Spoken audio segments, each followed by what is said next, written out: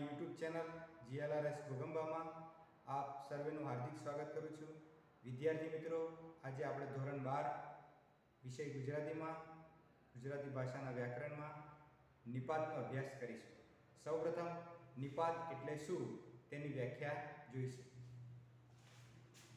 નિપાત એટલે વાક્યમાં આવતા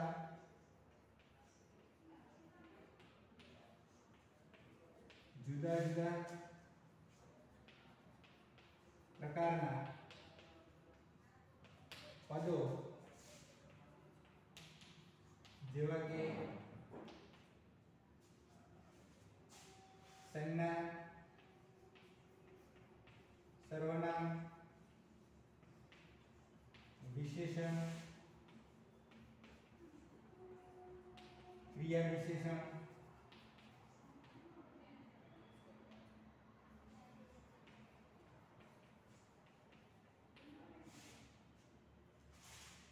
ની સાથે આવતા અને ભાર આગ્રહ કે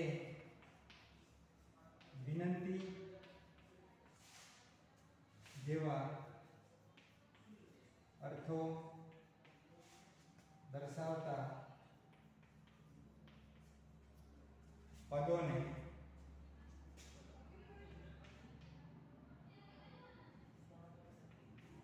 નિપાત તરીકે.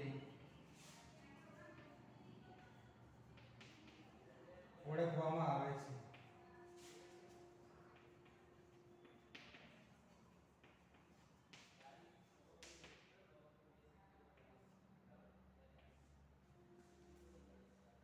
અહીં નિપાતની વ્યાખ્યા આપેલી છે.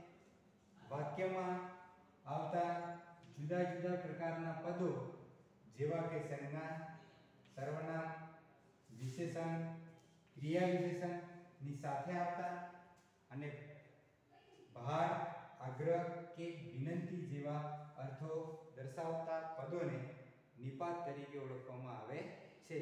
હવે આપણે ઉદાહરણ લઈ અને તેની સમજૂતી મેળવીશું. ઉદાહરણ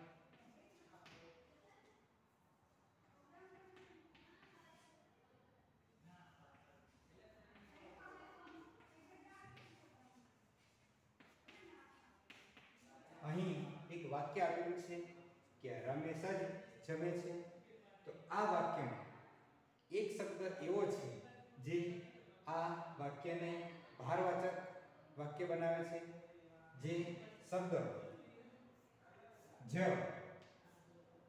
તો જ શબ્દ એ આ વાક્યમાં ભાર દર્શાવે છે તેથી આ જ ને આપણે નિપાત તરીકે ઓળખીશું બીજું એક વાક્ય છે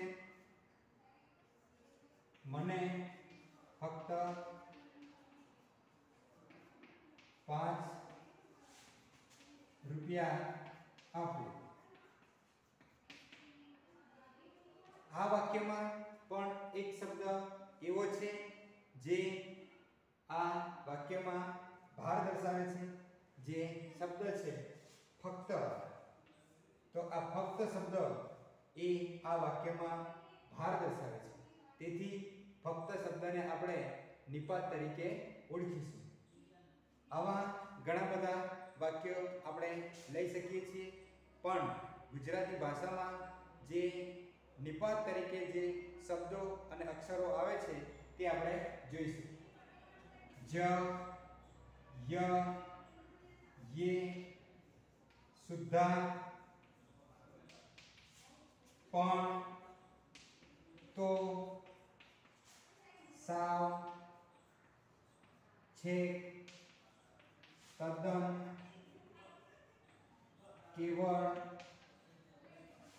માત્ર ફક્ત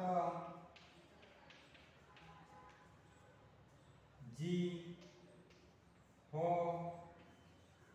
ખરો ખરી ખરું રે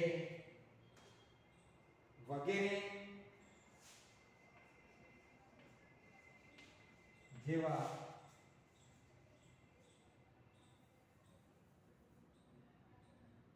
શબ્દો નિપાત તરીકે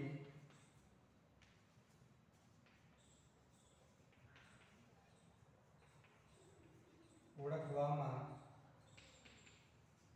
આવે છે વા- કોઈ પણ વાક્યમાં જ ય યે શુદ્ધાર્થ પણ તો સા છે, તદ્દન કેવળ માત્ર ફક્ત જી હો ખરો, ખરી, ખરું, રે વગેરે જેવા શબ્દો આવતા હોય તો એને આપણે નિપાત તરીકે ઓળખવામાં આવે છે. કેટલાક ઉદાહરણો દ્વારા આપણે એનો અભ્યાસ કરીશું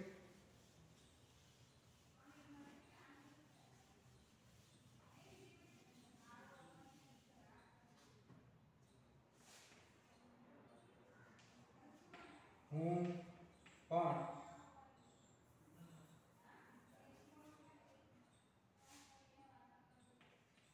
હું માત્ર જમવા ગયો હતો. અહીં એક શબ્દ એવો આપેલો છે કે જે આ વાક્યમાં ભાર દર્શાવે છે, તે શબ્દ છે માત્ર. તો માત્ર શબ્દ દ્વારા આ વાક્યમાં ભાર દર્શાવવામાં આવ્યો છે, તેથી માત્ર શબ્દને આપણે નિપાત તરીકે ઓળખી શકીએ છીએ. બીજું એક વાક્ય છે આ જગત એમાં જ સમાયેલું છે.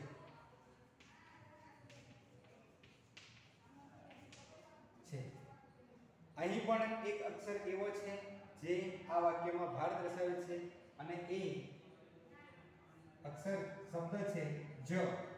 તો જને આપણે નિપાત તરીકે ઓળખી શકીશું. બીજું એક વાક્ય છે રાજેશને